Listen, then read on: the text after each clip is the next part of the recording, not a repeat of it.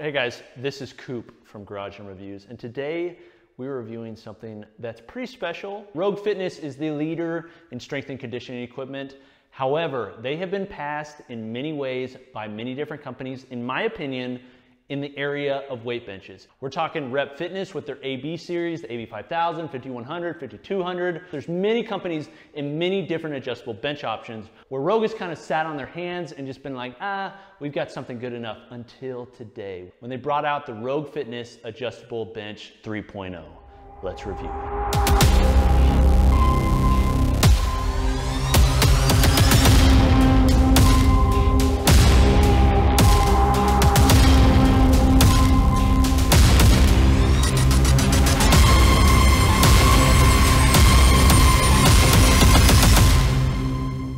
So this is the adjustable bench 3.0. This is a long time in the making, as I've said. This is a bench that I think it's their best value option. This is the one that I think is designed for most of you. This is the adjustable bench 3.0 using a ladder style system. Listen to this. Oh, that's satisfying. And then back down and ready to go. And the bench that I think this most is similar to is one that is really our top pick up until this point. Maybe we'll do a video in the future if you'd like to see that on the best benches. Make sure you subscribe and you can follow. However, this one is most similar to the Rep AB 5200, one of our top picks and one of my personal favorite benches. So when I saw this came out, I saw the upgrades, the updates, I was like, oh yeah, I can't wait to get it in.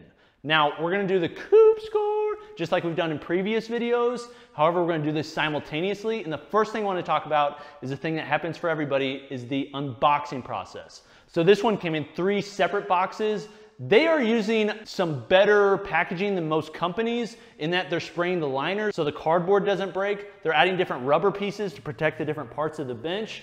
And the shipping wasn't too expensive. It did take a while, so I'm leaving some points off for that. However, overall, it was a you know decent shipping experience. The only thing I didn't like is it comes very unassembled. A lot of this you have to assemble, which means it's in three different boxes. It's not quite as bad as like an IKEA product, but for being made in the USA, it would have been nice if it was more assembled. However, I get it in that they're trying to save shipping. So overall, I'd give like the assembly delivery setup part an eight and a half out of 10. Now to the construction of the bench. This bench is almost all made in the USA. Something that Rogue's very proud of, and I think many people are that make things in the USA. And this is just like pretty much every other Rogue product. It's built stout, it's using thick 11 gauge steel, except here on this panel here, which this one is in stainless, which personally I prefer because it's a stainless rod on a stainless ladder, which means you're not gonna have like corrosion over time, and it just looks good contrasting against the black. But the construction on this is heavy duty. So these parts here appear to be seven gauge or maybe even thicker. Same thing with this ladder system. Most of the bench is using like 11 gauge box tube. So it's like really stout, really thick tubing.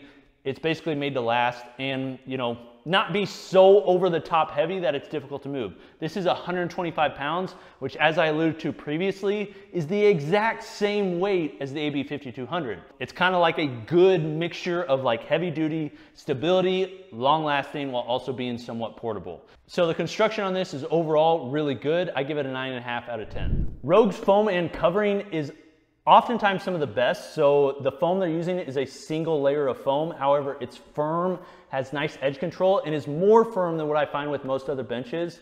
I think it's like a higher density foam, which I prefer. It's not gonna like, over time, have these wear marks. It's like if you leave something on it, it's not gonna take a long time to come back. It's soft enough that when you're on it and you're doing like a heavy bench, you can kind of sink into it a little bit so it's comfortable, but it's not so soft that you like sink in, you feel unstable. I really like it. It's got a thick plywood backing and then the vinyl cover is like, you know, a nicer vinyl. It's not the cheap stuff you see on like Amazon. It's something that's a little bit thicker, a little bit more grippy. It's not quite as grippy as the Thompson Fat Pad, which I would love if they offered that vinyl on every bench they made. And it's also not quite as grippy as what's Reps doing on the AB5200 and most of their benches. However, I actually prefer this vinyl against that one because I've noticed that that wears more than this does. This will last a little bit longer. So overall, the foam and covering, I give it an eight and a half. So an important feature with any bench, especially adjustable benches, because you're like higher up, center of gravity, is the stability of the bench. And most of the stability comes through the back leg. The back leg on this has a 24.75 inch width, which there's like positive and negatives. It's positive in that it's gonna be more stable than a thinner back foot, but it's more negative because it's gonna take up more space. Personally, I would rather have something that's a little bit wider because if I'm doing something really heavy, I wanna make sure like I'm not gonna fall. And I also use my bench in like unique ways. So sometimes I use it for sex, just kidding. Sometimes I use it for bent over rows like this and you know you're on there it's just like you're not just using the bench for bench people often use it for step ups or box jumps things like that so having some extra stability is nice and most of that stability comes from the back foot because oftentimes this front foot, like you see here, it's just a simple like single leg. And the reason that's nice, so you can tuck your legs. But if that back leg isn't wide enough, and this is very small like this, it can lead to like rocking issues. The 125 pound weight is going to you know, lead to some stability too. A heavier bench would be even more stable, but I think it's like a good mix so that it's still portable. So for the stability, nine out of 10.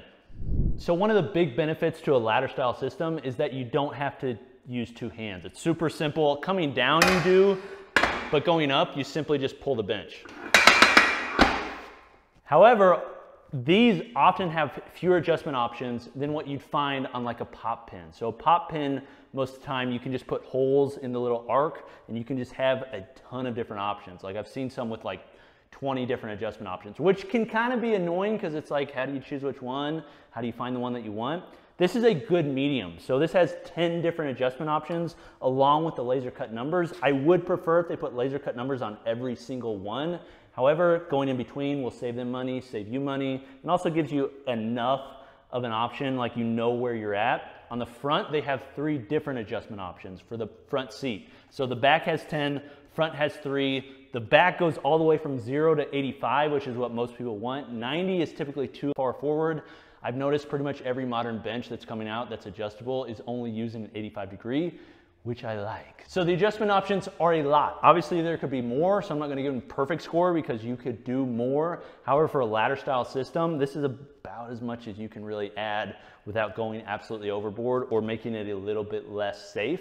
So I give it a nine out of 10. For a ladder style bench, the pad gap on this is one of the thinnest that's available. It's not the thinnest of any adjustable bench. The AB5000 Zero Gap has the thinnest that's available because it has that adjustable mount. However, that adjustable mount isn't like the nicest training experience. It requires extra like turning, dialing in, that sort of thing. For just a bench that's able to adjust without any extra movement, beautiful. It's so close together. So when you're laying down on it like just flat, it's not a big enough gap that you really feel it. You know it's there, but it's not too much. But when you start going to other adjustment angles, like here, there's hardly anything. And then when you adjust the seat pad, it's like, it just removes itself. And especially when you're at 30 degrees on the seat pad, it's non-existent and you can go all the way up to 85.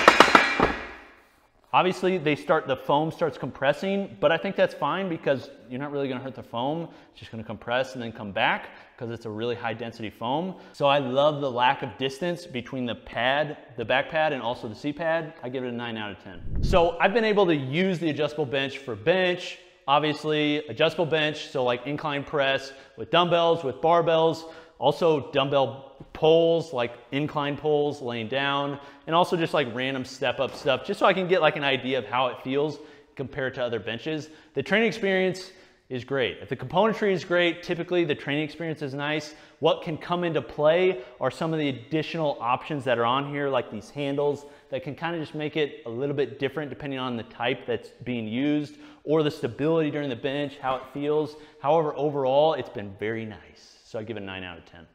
Now, one unique part of this bench, that is kind of taken from the AB5200. Other benches have done it. It's the ability to stand the bench up. Honestly, every adjustable bench that will come out from now on that's for a home gym will likely have this ability. The reason is because it's just so nice to store it, get it out of the way, and not have to deal with it. This one is really nicely done, partly because it's got the wide base, and also because it's got UHMW plastic on the actual stand, so it's somewhat safe. And because the casters are so freaking smooth and nice, it makes it easy to move back and forth. It's just like, this is the premium model. They have the cheaper model that's not that much cheaper, but the one with the stainless has the upgraded casters. Ordinarily, I'd just be like, ah, they're casters. They're not that much better. Don't spend more for them. But these are that much better. The casters on the other ones are the same one they use on the Monster Bench, which I do not like. They make a lot of noise. They just have an axle. They're not using bearings. These ones are extremely smooth. They have this nice branding on the rubber. They also have this cool like red color. It's just like, ah, it's just premium. And I think that in addition to the stainless steel is worth spending the extra money for if you're gonna buy a bench of this level anyways. So the stowability on this is just, it's premium. So overall, I give it an eight and a half out of 10. It's not absolutely perfect. There are ways that you can make it smaller, make it a little bit more safe. However, eight and a half out of 10 is pretty good. All right, so as you'd imagine, this isn't the cheapest bench. This is a Rogue bench. That's not to say Rogue's overpriced. Honestly, for Made in the USA equipment, like pretty comparable to a lot of other companies that are out there. They're cheaper than most other like shops of their nature. Like to compare this to like a Sorinex bench, this blows them out of the water as far as price and shipping. Same with Prime Fitness or some of those others. So that being said, most people are comparing this to other options like what's coming from Rep Fitness or Fringe Sport or Titan Fitness or some of these other companies. So the value, it's premium, but it's not overpriced. So this model right here is the upgraded model, but most of you will probably look at the cheaper model, which is 585. Plus, to me at least, it was 45 bucks shipping, which makes it 630 bucks total which like when you compare it to what we used to be able to have, that's a damn good deal. However, today we have many more options. So when you compare it to what I think is the most comparable bench, which we're gonna do a comparison on in the future, the AB5200 at 500 bucks, it, uh, it becomes a little bit less value. This overall is a better quality bench. This has better componentry, it's more stable, it has better foam. It's just like it just feels better. Everything about it is like it's very nice. It also costs more, so therefore it should feel better. So is it better value? Ah, it's sometimes a toss up. I'll talk about more of it in a future video, a comparison between this one and the AB5200 because I think they're that good to compare. However, the value on this, especially when you start adding in the upgraded options, even though I like them and I think they're worth it, it just starts getting a lot more expensive. So the upgrade ends up being about 735 bucks when you include shipping.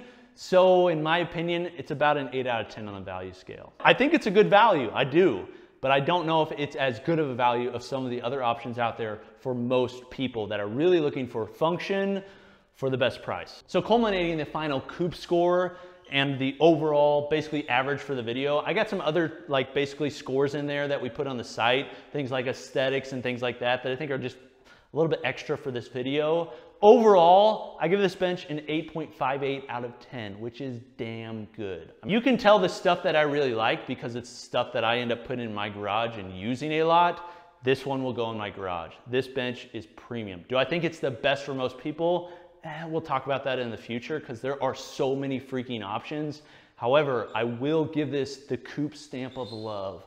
Yeah, it's a good bench. That is weird, wow. All right, however, if you'd like to get this bench, I'll put a card in the top right that you can check out. Click on it, take you over to Rogue so you can purchase the product or you can see it in the link in the bio. That obviously supports us, so thank you guys for doing that. This is Coop from Garage Gym Reviews. We will see you next time. Peace.